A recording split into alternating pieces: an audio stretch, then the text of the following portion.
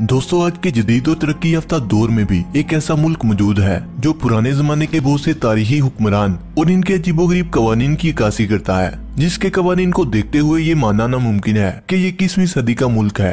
दुनिया इस मुल्क को शिमाली कोरिया के नाम से जानती है। यहाँ के कवायदो जवाबत के मतलब जानकर इंसान हैरानो परेशान रह जाता है। शायद आप यकीन ना करें, मगर शिमाली कोरिया में एक मुर्दा शख्स अरसा दराज से हुकूमत कर रहा है। इस पूरी सरार मुल्क की पूरी सरार शख्सियत का नाम किम जोंग है, जो कि इस मुल्क का सदर कहलाता है। आज की वीडियो में हम आपको इस पूरी सरार शख्स की ज़िंदगी के बारे में बताएँगे। इसलिए वीडियो को शुरू से लेकर हर तक ज़रूर देखिएगा। साउथ कोरिया और नॉर्थ कोरिया को एक ही मुल्क समझते हैं, लेकिन आपको बताते चले कि ऐसा बिल्कुल नहीं है। नॉर्थ कोरिया और साउथ कोरिया तकरीबन सत्तर साल पहले एक दूसरे से अलग हो गए थे। इससे पहले कोरिया पर जापान हुकूमत करता था और इसे यूनिफाइड कोरिया कहा जाता था। फिर जंग अजीम दोम के दौरान जापान ने हथियार डाल दिए नॉर्थ कोरिया और साउथ कोरिया। दो हिस्सों में अलग अलग हो गया, जिसके बाद नॉर्थ कोरिया पर रशिया ने अपनी हुकूमत कायम कर ली और साउथ कोरिया पर अमेरिका ने कब्जा कर लिया। उन्नीस सौ अड़तालीस में साउथ कोरिया और नॉर्थ कोरिया की अपनी अपनी हुकूमत कायम हो गई। साउथ कोरिया तो एक आम सा जमहूरी मुल्क बन गया। लेकिन नॉर्थ कोरिया पर किमिल सिंह की हुकूमत कायम हो गई। इस मुल्क पर हुकूमत करने वाली फैमिली दुनिया भर में तजुब बड़ी निगाहों से देखी जाती है। किमिल सिंह नामी शख्स ने नॉर्थ कोरिया को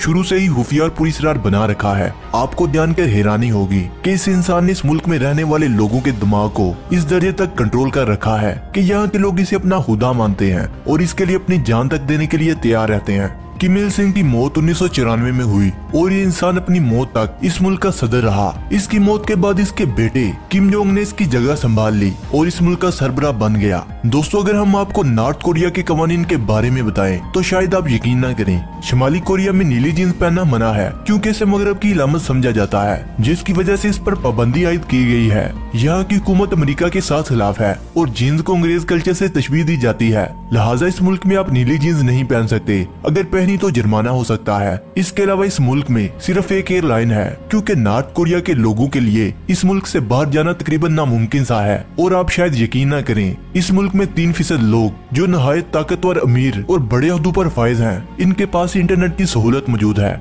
इसके अलावा किसी को भी इस मुल्क में इंटरनेट इस्तेमाल करने की इजाज़त नहीं है हत्या कि इस मुल्क में किसी भी बड़े ब्रांड की अशिया मौजूद नहीं है। यहाँ पर सिर्फ़ सियाहों के लिए चंद दुकानें मौजूद है, जो इनके लिए बाहर का सामान मुहैया करती हैं। शिमाली कोरिया में कोई शख्स अपनी मर्ज़ी के बाल भी नहीं रख सकता। हुकूमत की तरफ़ से दिए गए औरतों के लिए 28 और मर्दों के लिए 10 तरह के हेयर स्टाइल मौजूद हैं। इन्हीं में से हेयर स्टाइल मुंतब करना होता है। शिमाली कोरिया में मिलिट्री वाले या हुकूमत के अफसरान ही गाड़ी या कार रख सकते हैं। इसके अलावा आम लोगों को गाड़ी रखने की भी इजाज़त नहीं। वो पैदल चलें या पब्लिक ट्रांसपोर्ट का इस्तेमाल करें। इस मामले में भी वो अपनी मर्ज़ी इस्तेमाल कर सकते हैं। दोस्तों नॉर्थ कोरिया में अपना अलग इंटरनेट चलता है, जो कोरियन जबान में है, जिसे सिर्फ़ और सिर्फ़ 605 लोग इस्तेमाल करते हैं। वहाँ में जुर्म करने वाले को इसके जुर्म की सजा, इसकी अगली तीन नस्लों तक को भुगतना पड़ती है। एक अजीबो गरीब कानून ये भी है कि किसी शख्स को ग्रे रंग के अलावा अपने घर को पेंट करने की इजाज़त नहीं। शिमाली कोरिया में हर घर में एक रेडियो लगा हुआ है, जो वहाँ की हुकूमत की तरफ़ से है, जिसको एक मिनट के लिए भी बंद करने की इजाज़त नहीं है। और इस पर हुकूमती खबरें 24 घंटे चलती हैं। यानी ये रेडियो साल, यानी 12 माह लगातार चलता रहता है। और वो भी हर शख्स के घर में। शिमाली कोरिया में कानून ये भी है कि आपको मुल्क से बाहर कॉल करने के लिए हुकूमत से इजाज़त लेना होती है। शिमाली कोरिया में कोई बकारियों की तस्वीर भी नहीं खेल सकता, क्यूँकी किम जोंग नहीं चाहता कि बाहर की दुनिया को मालूम हो की कोरिया में गुर्बत भी है। शिमाली कोरिया में आने वाले किसी भी सियाह को फ़ोन ले जाने की इजाज़त नहीं। कोरिया में आने वाले अपने साथ फ़ोन नहीं ला सकते और फ़ोन एयरपोर्ट पर ही जमा कर लिया जाता है। शिमाली कोरिया में हर पाँच साल बाद इलेक्शन होता है, लेकिन वोट सिर्फ़ एक ही उम्मीदवार को डाला जाता है और इसे ही चुना जाता है, जिसका नाम किम जोंग है। शिमाली कोरिया में फैश फ़िल्म देखने की इजाज़त नहीं और इस पर सख्त सजा दी जाती है। दोस्तों, अब जो हकीकत हम आपको बताने जा रहे हैं, इसको सुनकर आप सकते में आ जाएँगे। किम जोंग इतना जालिम इंसान है कि इसने अपने चाचा को नंगा करके 120 बुके कुत्तों के पिंजरे में सिर्फ़ इस बिना पर फंकवा दिया था कि किम जांग इन के खिताब के दौरान इसका चाचा सो गया था।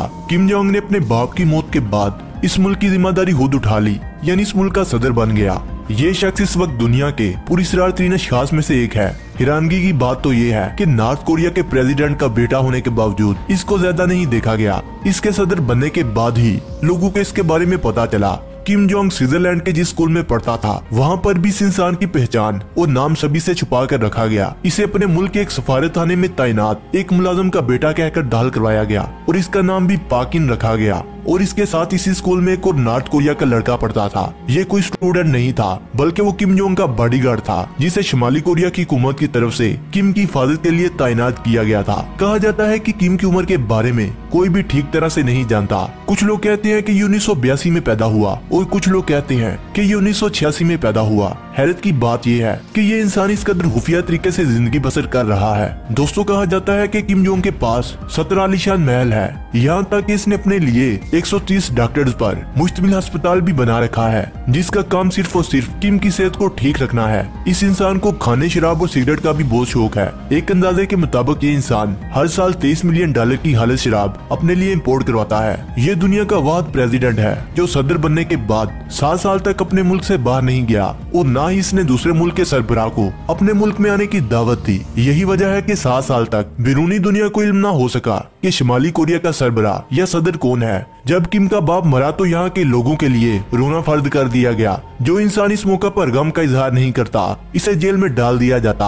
आज भी किम सिंग की बरसी पर पूरे नॉर्थ कोरिया को दाड़े मार कर रोना होता है। अगर ऐसा न किया जाए तो सात सजा दी जाती है। सर्वे के मुताबिक नॉर्थ कोरिया की आबादी तकरीबन दो करोड़ है। यानी ये इंसान जिसका नाम किंग जोंग है, इसने दो करोड़ इंसानों के दिमाग पर ज़बरदस्ती कब्जा कर रखा है। इस इंसान को बास्केटबॉल खेलने और देखने का बहुत ही शौक है। वैसे तो नॉर्थ कोरिया में ज़्यादा सिया नहीं आते। अगर कोई टूरिस्ट इस मुल्क का रुख करता भी है तो इसे सात पैरे में रख कर नॉर्थ कोरिया का विज़िट करवाया जाता है। किम जोंग के हुक्म पर कुछ एक्टर्स को सड़कों पर खड़ा कर दिया जाता है। जिन्हें हुकूमत की तरफ़ से पैसे मिलते हैं। इनका काम सड़कों पर हँसते मुस्कुराते घूमना होता है। ताकि आने वाले सियाह को लगे कि ये मुल्क भी दूसरे मुल्कों की तरह आम और खुशहाल है। दोस्तों, किम जोंग की पूरी ज़िंदगी खुफिया राजू से भरी पड़ी है। किम जोंग ने 12 दिसंबर 2013 को अपने ही हालू को फांसी पर चढ़ा दिया, क्योंकि इसे अपने हालू पर शक हो गया था कि ये इसके खिलाफ साजिशें कर रहा है। इसके हालू जिन का नाम जिंग सोन थाओ था, जो नॉर्थ कोरिया के एक बहुत बड़े अहदे पर फायज थे। यही नहीं, बल्कि इसके सुतेले भाई किम जोंग यंग को कत्ल कर दिया गया था। इस हवाले से ये हबड़ गर्दिशें आम रही कि किम जोंग यंग पर दो औरतों ने मलेशिया के एक एयरपोर्ट पर हमला कर दिया था, जिसमें किम जोंग यंग मारा गया था। कहा जाता है कि इसके पीछे भी किम जोंग का हाथ है। इसके बारे में कोई भी सबूत आज तक नहीं मिल सका। किम जोंग ने पिछले साल एक अच्छी शख्सियत के तौर पर खुद को बारा और अपने मुल्क से बाहर जाकर कई मुल्कों का दौरा किया। अमेरिका में इसने डोनाल्ड ट्रंप से मुलाकात की और चीन का दौरा करके वहाँ के वज़ीर आज़म से भी मुलाकात की। इसके अलावा इसने साउथ कोरिया की नफरा से भी मुलाकात की, जिनको किम अपना जानी दुश्मन तस्वर करता था और दोस्ती का हाथ बढ़ाया। लेकिन किम जोंग आज भी दुनिया के पुरसरार तरीन लोगों में से एक हैं, जिनके बारे में आप सिर्फ़ अंदाज़ा लगा सकते हैं। सच क्या और झूठ क्या इसका फैसला नहीं कर सकते क्योंकि ये शख्स दो से तीन करोड़ लोगों के जहनों पर न सिर्फ़ हुकूमत करता है बल्कि अपनी मौत तक इन पर हुकूमत करता रहेगा। दोस्तों वीडियो अच्छी लगने की सूरत में से लाइक करें कमेंट करें और अपने दोस्तों से शेयर करें। और जिन्होंने अभी तक हमारे चैनल सब्सक्राइब नहीं किया वो इसे सब्सक्राइब करते हुए बेल आइकन पर क्लिक करके ऑल नोटिफिकेशन को इनेबल कर लें। मिलते हैं एक नई वीडियो के साथ। तब तक के लिए खुदा हाफिज।